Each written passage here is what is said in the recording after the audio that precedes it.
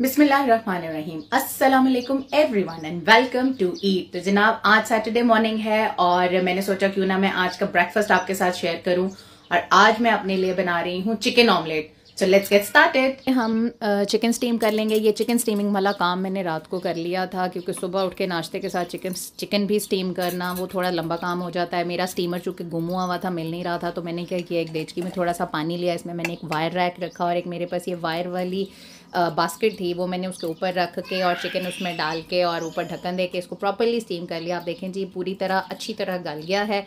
अब इसको मैं एक बॉल में निकाल लूँगी और इसको ठंडा कर लूँगी। ठंडा करने के बाद मैंने इस चिकन को श्रेड किया और श्रेड करने के बाद मैंने इसे फ्रिज में रख दिया। तो इन द मॉर्निंग जो ऑमलेट का प्रोसेस स्टार्ट हुआ, उसमें मेरे पास दो अंडे मैंने लिए हैं।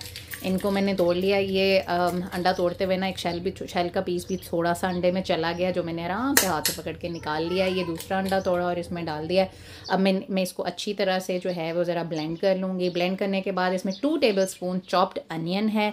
वो मैंने शामिल किया है। वन ग्रीन चिली वो भी मैंने चॉप करके डाल दी है। और ये टू टेबल स्पून हरा धनिया है जो मैंने ऑलरेडी चॉप किया हुआ था, वो इसमें डाल दिया है। सॉल्ट आप अपने टेस्ट के मुताबिक ऐड कर लें और रेड चिली पाउडर भी आप अपने टेस्ट के मुताबिक ऐड कर लें। अब इसमें मैं ये तकरीबन 40 ग्राम्स श्रेडेड चिकन है जो मैंने ऐड किया और इसको मैंने अच्छी तरह ब्लेंड कर लिया है। अब जनाब ये एक मैंने स्केलेट पे वन टेबल स्पून देसी घी गरम कर लिया है। देसी घी गरम करने के बाद मैंने जो अपना एग मिक्सचर है, वो इसके ऊपर डाल दिया है और इसको दोनों तरफ़ से मैंने अच्छी तरह से पका लेना है।